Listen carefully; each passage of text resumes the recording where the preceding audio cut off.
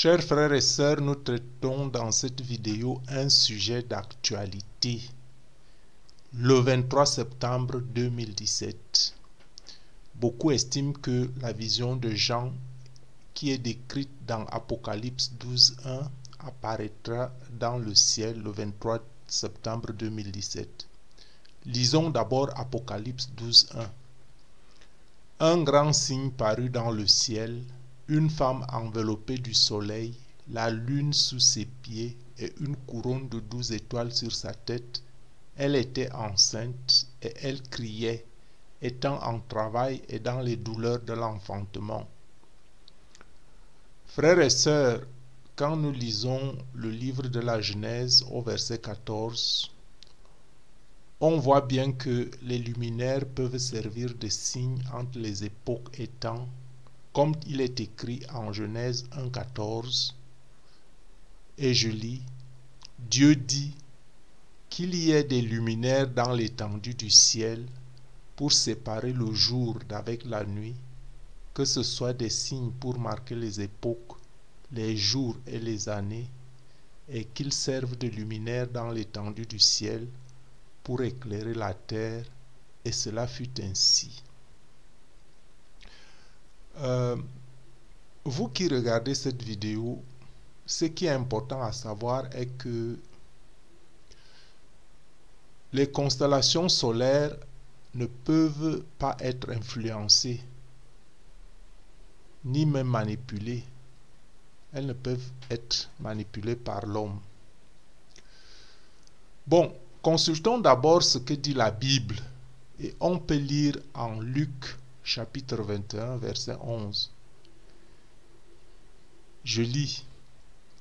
Il y aura de grands tremblements de terre et en divers lieux des pestes et des famines. Il y aura des phénomènes terribles et de grands signes dans le ciel. Mais avant tout cela, on mettra la main sur vous et l'on vous persécutera, on vous livrera aux synagogues, on vous jettera en prison, on vous mènera devant des rois et devant des gouverneurs à cause de mon nom. Vous voyez, frères et sœurs, euh, tous ces faits sont accomplis, tous ces faits sont justifiés. Et la Bible confirme ici, dans ce que nous venons de lire, la Bible confirme qu'il y aura de grands signes dans le ciel. Néanmoins, euh, Jésus nous avise déjà euh, au verset 8 du même chapitre 21 de prendre garde que nous ne soyons séduits. Jésus dit clairement de prendre garde que nous ne soyons séduits. Car plusieurs viendront en son nom disant, C'est moi, et le temps approche. Jésus dit, ne les suivez pas.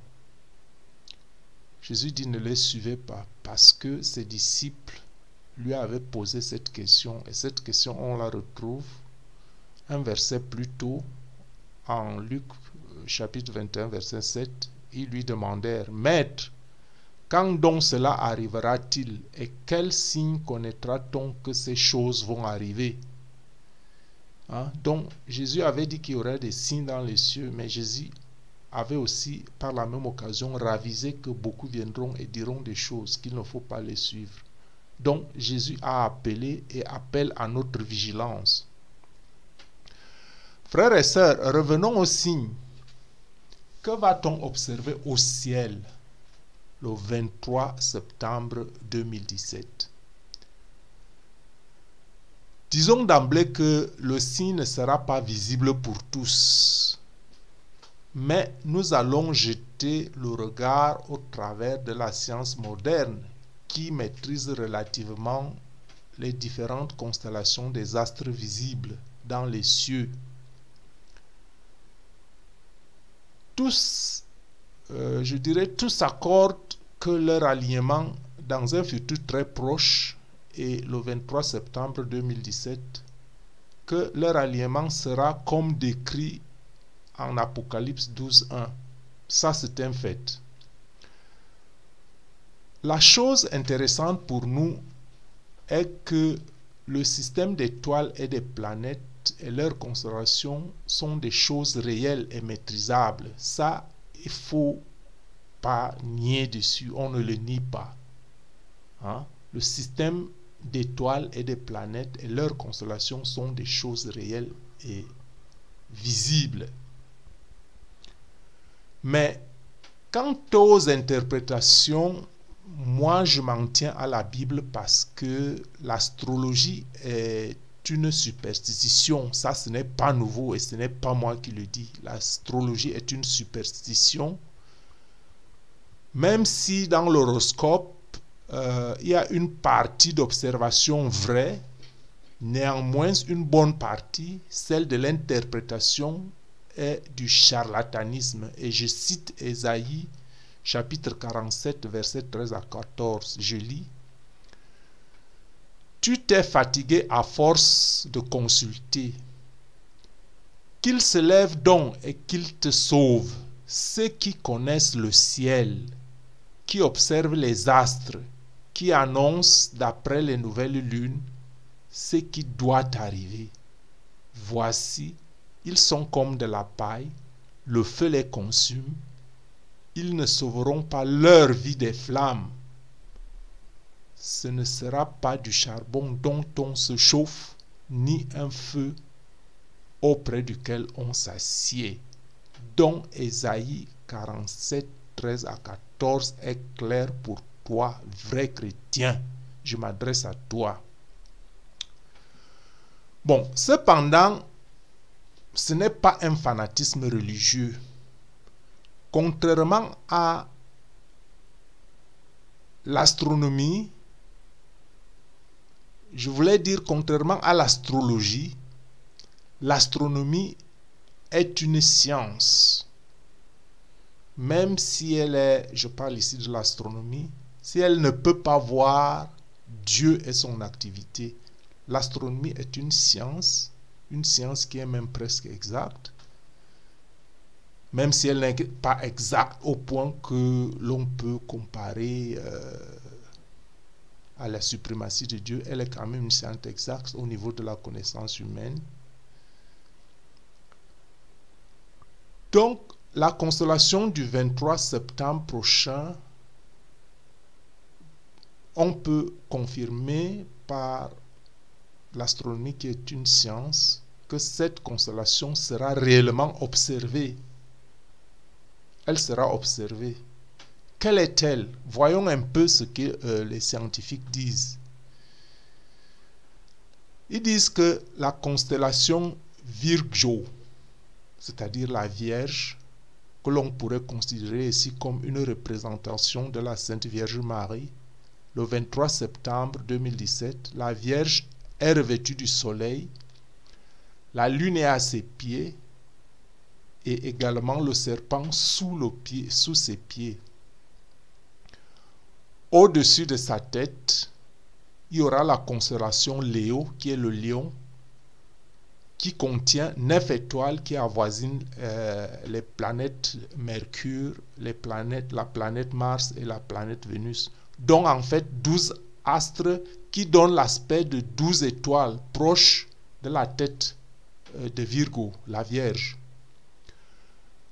Bon, pour ne pas aller très loin en résumé, il apparaîtra réellement, ça, il apparaîtra réellement la femme, Virgo, la Vierge, revêtue du soleil, la lune à ses pieds est proche de sa tête douze étoiles, comme vous avez certainement déjà entendu parler ou visionné dans d'autres vidéos à ce sujet, parce que je n'apporte rien de neuf, je ne fais que rapporter les faits qui sont plus ou moins des faits scientifiques que, euh, qui sont connus.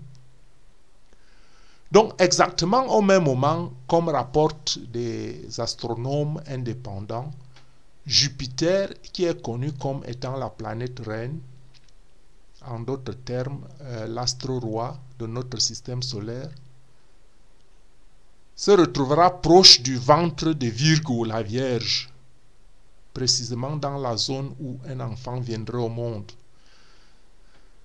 Ceci est naturellement par rapport aux écrits bibliques une représentation, euh, représentation symbolique de ce qui est vraiment de la constellation. Mais c'est une représentation symbolique de la naissance de Jésus-Christ le roi du sein de la Vierge Marie. Je dis bien c'est symbolique. Bien que les planètes et autres, que ce soit réel, que la science puisse euh, en témoigner. Donc, euh, frères et sœurs, le 23 septembre 2017, les choses, les astres s'aligneront au ciel exactement comme la vision que décrit Saint Jean dans l'Apocalypse 12, 1. Comme je disais, plusieurs témoignages d'astronomes indépendants confirment euh, qu'une telle constellation est unique dans l'histoire jusqu'alors.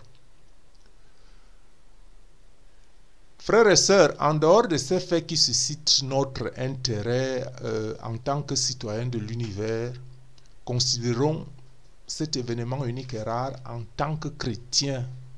Hein. En tant que chrétiens, nous allons nous référer aux Saintes Écritures.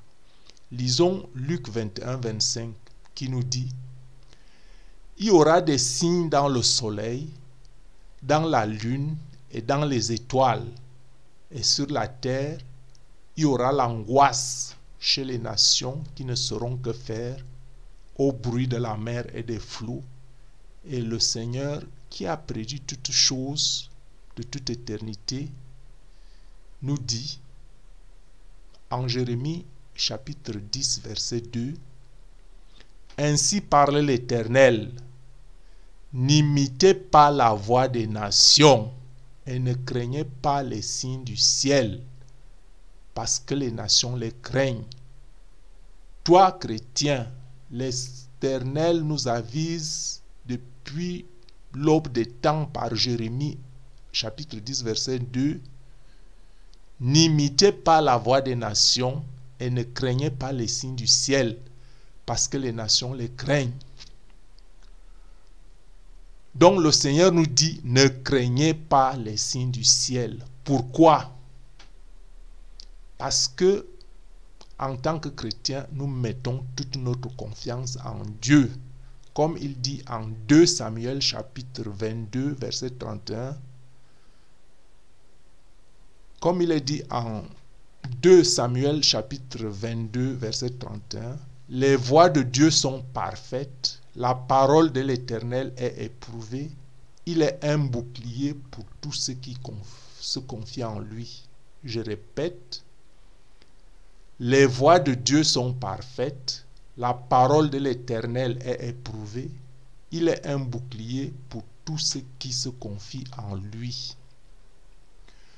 Le psaume 32, verset 10 dit, Beaucoup de douleurs sont la part du méchant, mais celui qui se confie en l'Éternel est environné de sa grâce. Nous pouvons lire un autre psaume. Le psaume 34, verset 22 dit, L'Éternel délivre l'âme de ses serviteurs, et tous ceux qui l'ont pour refuge échappent au châtiment. Et pour conclure cette série, parmi tant d'autres versets bibliques, lisons Jérémie 17, 7 Jérémie chapitre 17, verset 7, qui dit, Béni soit l'homme qui se confie dans l'Éternel et dont l'Éternel est l'espérance. Béni soit l'homme qui se confie dans l'Éternel et dont l'Éternel est l'espérance.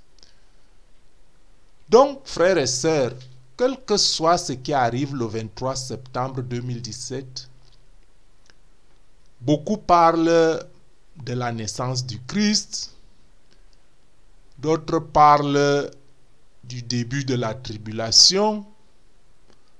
D'autres parlent de l'enlèvement de l'Église et bien d'autres différentes interprétations que sais-je encore. Euh, loin d'aller euh, juger, parce que je ne veux porter aucun jugement, Hein, il y a tant de prophètes qui vous disent ceci, il y en a d'autres. Pourquoi même tant de prophètes pilules? Parce que certains copient euh, là en ligne des événements, quand tel donne telle affirmation, l'autre vient et voit. Il y a des prophètes autoproclamés qui vous proclament des choses. C'est juste des gens qui vont lire certaines vidéos, viennent aussi lui faire une autre vidéo. Bon, moi je m'écarte un peu de ce but. Mon but n'est même pas euh, de, de, de, faire vidéo, de vous dire qu'il va se passer ceci ou cela. Ça, ce n'est pas de mon domaine. Bon, mais je me base quand même sur ça parce que quand la science, qui a quand même atteint déjà un certain degré de connaissance, avise qu'il y aura telle chose, donc euh, il y a une certaine crédibilité, on accorde une certaine crédibilité. Ce que moi je, je veux faire dans cette vidéo, c'est appeler, vous appeler au calme, vous remettre les choses en ordre, que vous retrouviez votre paix, que vous ne vous inquiétiez pas. Hein, et je fais cela à partir des Saintes Écritures, parce que les Saintes Écritures nous donnent la conduite dans chaque situation, la conduite que nous devons tenir. Hein? D'abord, nous devons avoir en tant que croyants cette espérance, cette assurance qu'on retrouve en Ésaïe chapitre 12 verset 2 qui dit, Voici, Dieu est ma délivrance je serai plein de confiance. Je ne craindrai rien. Je ne craindrai rien car l'Éternel, l'Éternel est ma force et le sujet de mes louanges. C'est lui qui m'a sauvé d'autre part. C'est lui qui m'a sauvé. Ça, c'est la fin du verset. D'autre part, euh, la Bible est claire que personne ne connaît ni le jour ni l'heure. Hein, parce que beaucoup disent que le 23 septembre 2017, c'est le jour de l'enlèvement, c'est le début de la tribulation. Je n'en nie pas, je n'en nie pas, mais je dis seulement que la Bible dit d'autre part que personne ne connaît ni le jour ni l'heure. Et ça, on le lit en Matthieu chapitre 24, 36, qui nous dit que pour ce qui est du jour et de l'heure, Personne ne le sait, ni les anges des cieux, ni le Fils, mais le Père seul. Et le verset 37 de Matthieu 24 ajoute, même que ce verset ajoute que ce qui arrivait du temps de Noé arrivera de même à l'avènement du Fils de l'homme. Ce qui, pour moi, me fait penser personnellement que les signes au ciel le 23 septembre 2017, oui, la science le confirme, mais cela sera certainement juste que des signes, comme des douleurs de l'enfantement. Pourquoi je dis cela? Parce que en parlant de son second avènement à la fin du monde, Jésus dit dans Luc chapitre 21, verset 25, et il y aura des signes dans le soleil, dans la lune et dans les étoiles. Et Jésus dit que ces signes signaleront à l'humanité que nous sommes très proches de son retour à la fin des temps. Jésus dit que ces signes signaleront à l'humanité que nous sommes très proches de son retour à la fin des temps. Excusez-moi. Donc, frères et sœurs, que faire? Que faire? C'est la même éternelle question et j'ai déjà traité ce sujet dans d'autres vidéos. Revenons en Matthieu 24, euh, verset 44, qui nous parle et depuis, c'est depuis des siècles? Je lis. C'est pourquoi vous aussi, tenez-vous prêts, car le Fils de l'homme viendra à l'heure où vous n'y penserez pas. Hein? La question c'était que faire? Et ce que faire, je trouve un conseil dans Matthieu 24, 44 qui dit, c'est pourquoi vous aussi, tenez-vous prêts, car le Fils de l'homme viendra à l'heure où vous n'y penserez pas. Frères et sœurs, je vous pose une question. Que vous importe Que vous importe la date et l'heure? Puisque nous sommes avertis de toute éternité. Quand on lit en Acte chapitre 1 verset 7, Jésus répondit, Ce n'est pas à vous de connaître les temps et les moments que le Père a fixés de sa propre autorité. Jésus nous le dit en tant que chrétiens, ce n'est pas notre devoir. Il nous recommande de veiller et de prier. Veillez et priez car le Seigneur viendra comme un voleur dans la nuit. Ça c'est en Thessaloniciens chapitre 5 verset 2. Ou en Apocalypse chapitre 16 verset 15 où il est dit, voici, je viens comme un voleur. Heureux celui qui veille et qui garde ses vêtements afin qu'il ne marche pas nu et qu'on ne voie pas sa honte. Y a-t-il de message plus clair que ça? 2 Pierre, chapitre 3, verset 10, nous dit, Le jour du Seigneur viendra comme un voleur. En ce jour, les cieux passeront avec fracas, les éléments, les embrasés se dissoudront, et la terre avec les œuvres qu'elle renferme sera consumée. C'est clair. Si vous êtes fils de Dieu, et même si le 23 septembre était comme ils le prédisent, qu'avez-vous à craindre? On dit bien que c'est la terre avec ses œuvres qu'elle renferme qui seront consumées. Donc, il y a un conseil en Apocalypse 3.3 qui dit Rappelle-toi donc comment tu as entendu, et garde et répands-toi. Si tu ne veilles pas, je viendrai comme un voleur, et tu ne sauras pas à quelle heure je viendrai sur toi.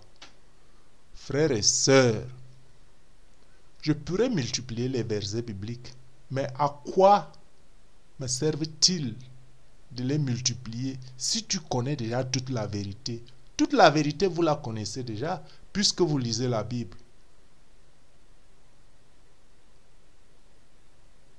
Dieu te protège et te sauve le jour de sa colère justifiée. Frères et sœurs, Dieu te protège et te sauve le jour de sa colère justifiée. Rappelle-toi qu'Abraham a supplié Dieu de ne pas punir Sodome et Gomorre si un seul juste se trouvait en son milieu. Donc, le Seigneur nous dit, ne crains pas, ne crains rien, car je suis avec toi. Lisons Esaïe chapitre 41, verset 10. Ne crains rien, car je suis avec toi. Ne promène pas des regards inquiets, car je suis ton Dieu. Je te fortifie, je viens à ton secours, je te soutiens de ma droite triomphante. Et plus loin au verset 13, car je suis l'Éternel ton Dieu, qui fortifie ta droite, qui te dit, ne crains rien, je viens à ton secours. Jérémie chapitre 1 verset 8 confirme ne les crains point, car je suis avec toi pour te délivrer, dit l'Éternel. Que l'Éternel te sauve et te garde dans la paix et dans l'amour jusqu'au dernier jour. Amen.